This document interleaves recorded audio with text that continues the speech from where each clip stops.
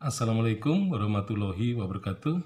Pemain kelahiran Purwokerto yang mendunia, ya, ini adalah misalnya Fung Permati. Jadi Fung Permati ini kelahiran Purwokerto 30 Desember 1967. Jadi ia sempat menjadi pemain nasional di Pelatnas ya, dan itu antara tahun 1990 sampai 1995.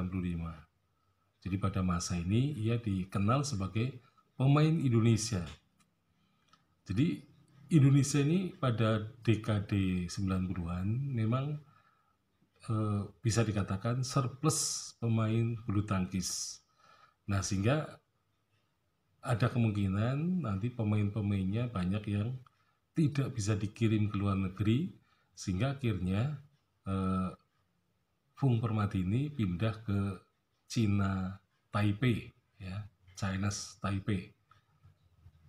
Nah tapi pada periode 1990 sampai 1995 ia menjadi pemain nasional dan sempat berprestasi ya, menjadi juara di Kanada terbuka Kanada Open tahun 1990 kemudian Jerman terbuka 1990 1990 dan Swiss terbuka tahun 1993.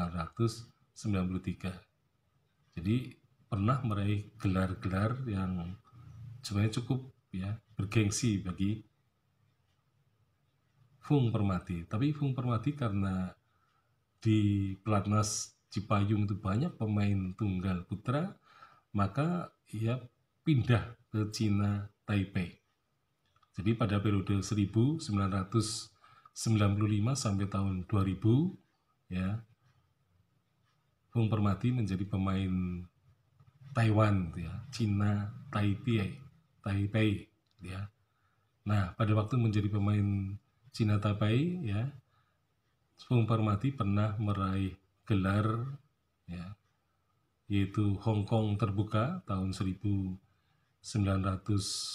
1996, kemudian Cina terbuka tahun 1996, kemudian uh, Kanada, uh, Korea terbuka tahun 1996 juga, dan kemudian pada tahun 1999 ini menjadi juara Cina Taipei Open atau terbuka 1999 Nah, kemudian Swiss terbuka, ia meraih lagi ya tahun 1999 dan kemudian pada tahun yang sama ia menjadi finalis kejuaraan dunia 1999 tetapi ia kalah di final dan kemudian pada tahun 99 juga ia menjadi semifinalis kejuaraan Asia jadi sebenarnya Fung Permati ini termasuk pemain yang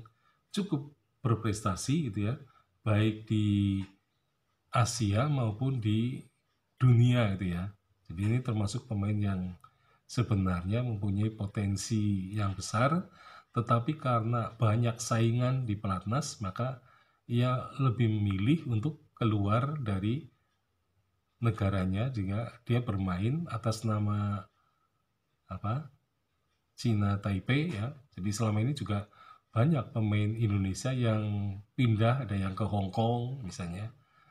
Misalnya adiknya Alan Budi Kusuma ini pindah ke Hong Kong dan meniti karir bulu tangisnya di sana. Dan rupa-rupanya mereka itu menjadi pemain-pemain yang menginspirasi bagi pemain-pemain lokal sehingga di kemudian hari muncul pemain-pemain yang berbakat yang kemudian meramaikan uh, kompetisi bulu tangkis dunia.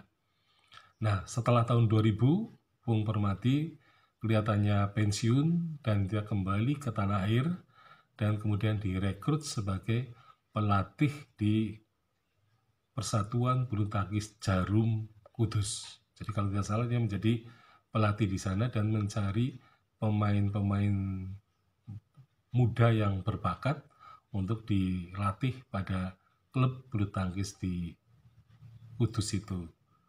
Ya, sekian, Assalamualaikum warahmatullahi wabarakatuh.